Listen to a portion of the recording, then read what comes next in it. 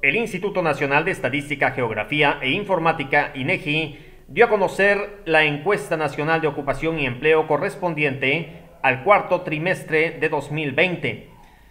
En todo el país, la desocupación pasó de 3.4 a 4.6%.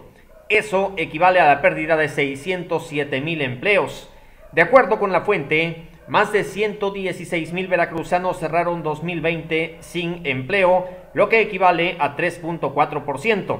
En diciembre de 2019, la cifra de personas desocupadas en la entidad pasó de 100 mil a 116 mil, es decir, de 2.9 a 3.4% el desempleo en Veracruz. De ese tema le voy a platicar en mi columna de este miércoles y le invito a leerla en hora0.mx.